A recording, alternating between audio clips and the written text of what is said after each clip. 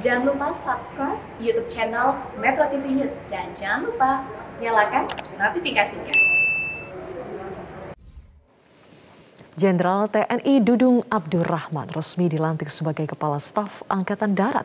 Dudung yang terkenal dengan gaya kepemimpinannya yang belak-belakan tak segan memberantas baliho Rizik Syihab di ibu kota saat menjabat sebagai Pangdam Jaya. Letnan Jenderal TNI Dudung Abdurrahman Presiden Joko Widodo resmi melantik Jenderal TNI Dudung Abdurrahman sebagai Kepala Staf Angkatan Darat, menggantikan Andika Perkasa yang dilantik menjadi Panglima TNI. Pelantikan dilakukan di Istana Merdeka Jakarta Rabu 17 November 2021.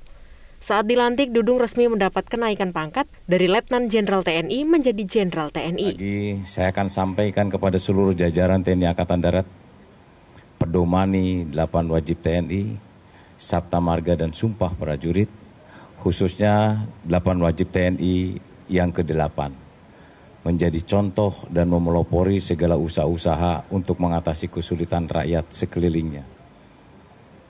Kalau untuk berpikir demi negara jangan pernah ragu-ragu, tetapi lakukan yang terbaik untuk kesejahteraan masyarakat sekitarnya. Dudung Abdurrahman merupakan perwira tinggi TNI Angkatan Darat yang kini berusia 56 tahun. Karir Dudung mulai menanjak sejak menjabat Gubernur Akademi Militer di tahun 2018. Setelah itu, Dudung mengemban tugas sebagai Pangdam Jaya, menggantikan Eko Margiono. Saat menjadi Pangdam, Dudung menjadi perhatian banyak pihak karena tak segan mencopot seluruh baliho Rizik Syihab di ibu kota. Gaya kepemimpinan Dudung yang cenderung belak-belakan ini tak lain untuk mengukuhkan kedaulatan NKRI.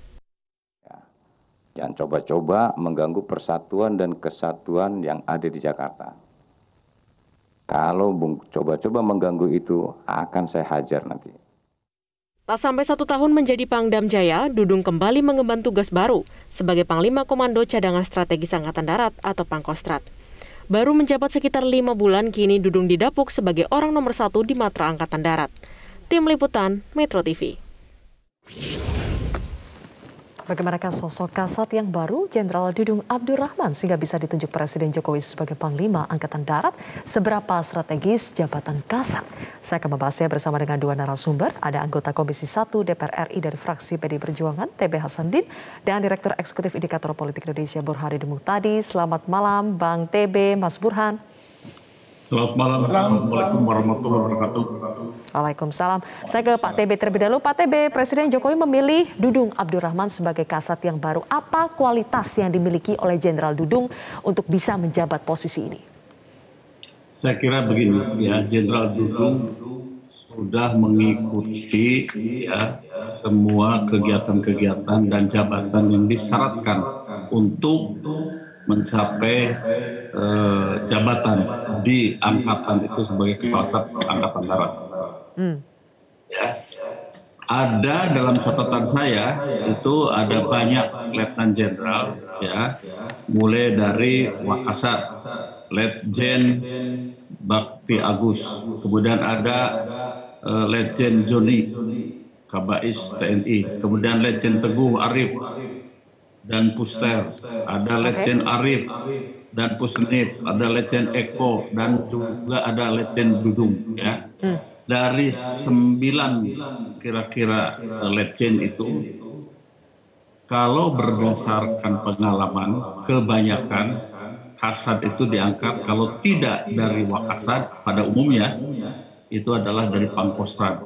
Okay. Karena mereka lah yang sudah meniti karir sesuai dengan track yang disiapkan untuk sampai di pucuk pimpinan TNI Angkatan Darat. Ya. Okay. Okay. Sehingga prediksi saya saat itu kalau tidak Agus tentu Dudung ya. Hmm. Tapi kalau dilihat dari ya, Pak Agus, Legend Agus Makassar itu tahun depan sudah akan pensiun.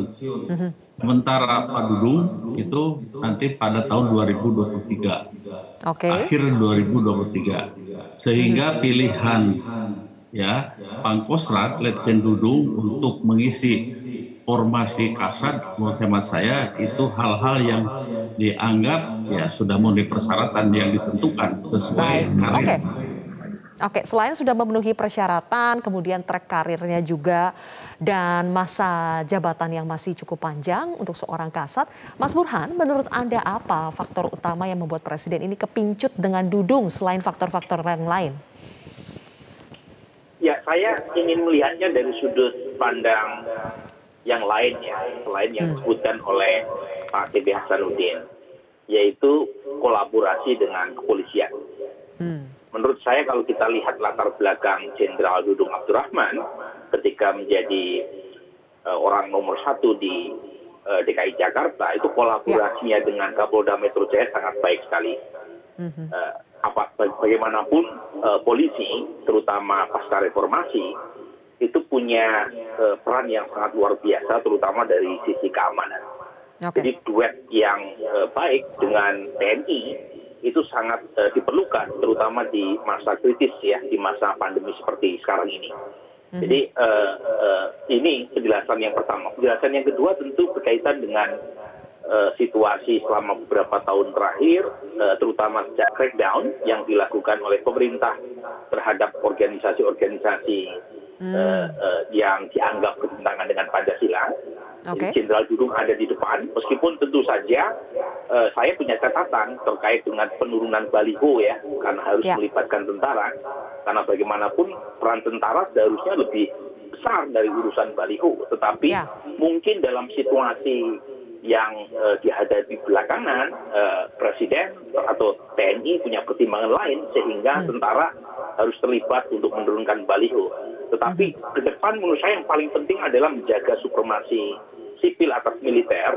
Dan karenanya kalau kita lihat trust terhadap tentara yang paling tinggi ini kan saya punya survei bertahun-tahun TNI selalu paling dipercaya.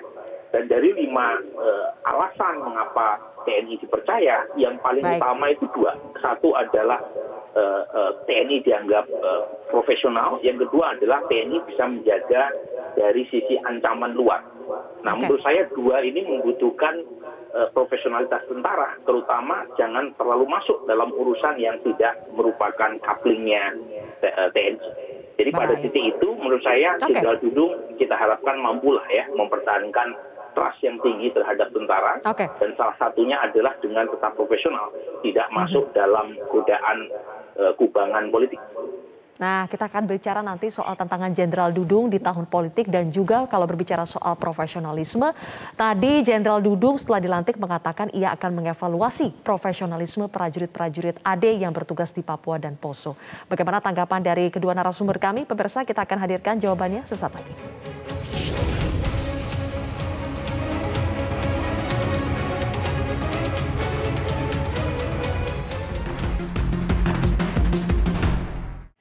Baik, pemirsa kami lanjutkan kembali perbincangan masih bersama dengan anggota Komisi 1 DPR RI ada Bang TB Hasanuddin dan juga Mas Burhanuddin Mutadi. Uh, Pak TB tadi pernyataan pertama Jenderal Dudung setelah dilantik, ia akan mengevaluasi profesionalisme prajurit-prajurit AD yang bertugas di Papua dan Poso. Apakah agenda itu memang patut diprioritaskan? Baik, apa yang disampaikan oleh Kasat baru itu saya kira uh, relevan tapi harus dicatat bahwa pernyataan itu harus sejajar dan sesuai dengan kebijakan dan keputus Panglima, keputusan Panglima TNI yang baru. Ya. Mengapa? Ya, Kepala Staf Angkatan Darat itu bukan pengguna kekuatan. Hmm. Kepala Staf Angkatan Darat itu adalah pembina kekuatan yang menyiapkan, mengasah ya seluruh personil, profesionalisme prajurit untuk digunakan oleh Panglima TNI. Nah, sehingga relevansinya tentu apa yang diucapkan oleh Kasat harus sejalan dengan kebijakan yang akan diputuskan oleh Panglima TNI. Okay. Menyangkut masalah Papua, nah, di dalam rapat dengar pendapat atau uh, uji kelayakan calon Panglima TNI terhadap ya. Jenderal yeah. Andika, ada satu hal yang keren menurut hemat saya. Saya mengulangi ya. lagi. Beliau menyampaikan bahwa model operasi yang dilaksanakan ya di Papua itu harus dievaluasi. Hmm. Ya, penyelesaian di Papua harus melakukan pendekatan kemanusiaan dan pendekatan uh, kesejahteraan. Artinya harus melakukan operasi teritorial yang kemudian operasi teritorial itu didukung dengan sebuah operasi intelijen dan Baik. itu itu ya rencana dari Panglima TNI yang nanti akan kita tagih karena apa? Saya kira baru kali ini ada Panglima TNI ya yang akan siap menyelesaikan masalah Papua itu tanpa menggunakan kekerasan. Menurut hemat saya itu eh, sebuah eh, harapan yang cukup signifikan begitu. Dan itu harus diterjemahkan oleh eh, Pak Dudung ya selaku Dan kasat bagaimana keinginan dari. Jenderal Andika ini. Betul. Dalam hal penyiapan pasukan untuk mendukung operasi Baik. yang direncanakan oleh Panglima TNI. Oke, berikutnya Mas Burhan, apa sebetulnya tantangan Jenderal Dudung di tahun politik? Banyak juga yang mengaitkan dipilihnya Jenderal Dudung oleh Presiden ini karena faktor 2024. Apakah Anda melihat ada faktor 2024 di balik penunjukan Dudung sebagai kasat?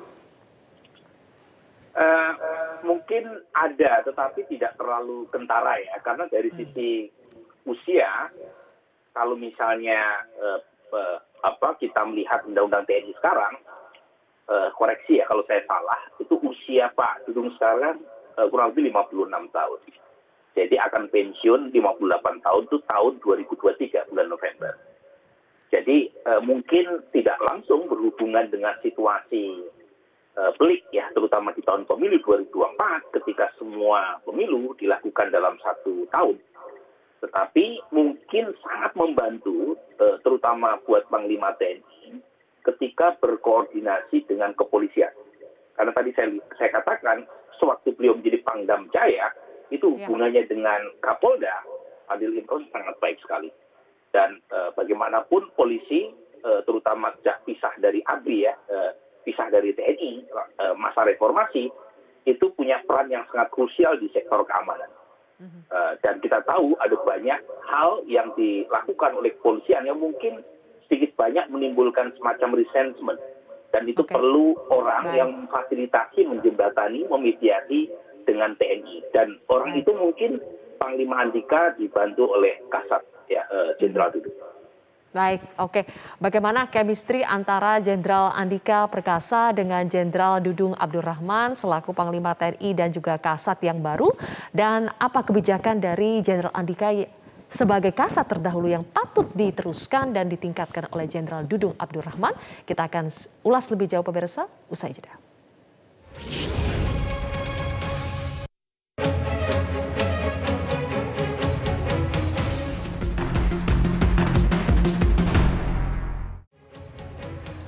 Baik pemirsa kembali lagi bersama kami di segmen terakhir. Eh, Pak TB, jadi menurut Anda apa kebijakan dari Jenderal Andika Perkasa sebagai kasat terdahulu yang patut diteruskan dan ditingkatkan oleh Jenderal Dudung Abdurrahman?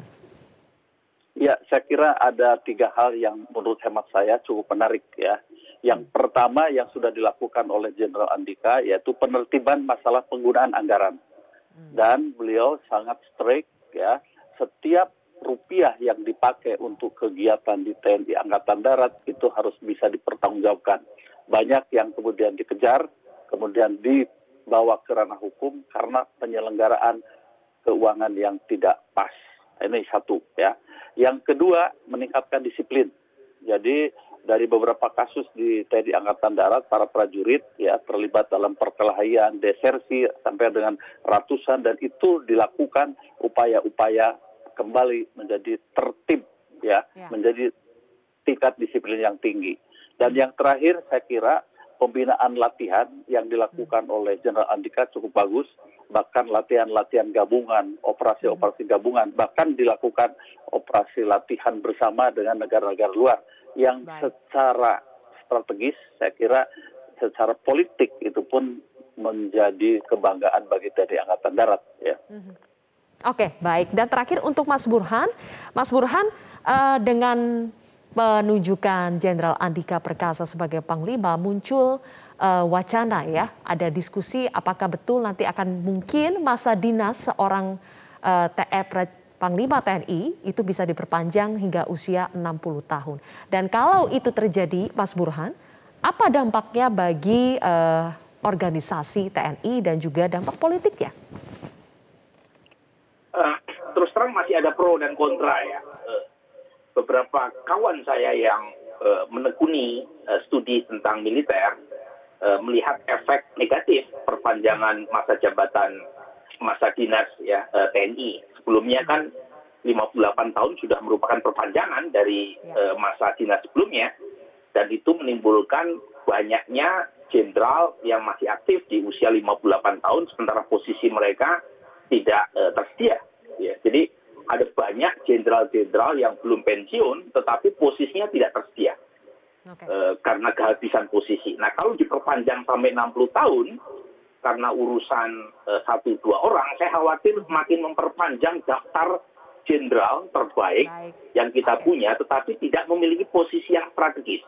Hmm. Jadi menurut saya harus dipikirkan matang Jangan Baik. sampai untuk urusan satu dua kemudian menimbulkan uh, persoalan yang serius di internal TNI. Baik, nah, kalau begitu. Untuk komunikasi, hmm. untuk politiknya tentu punya dampak terkait dengan 2024.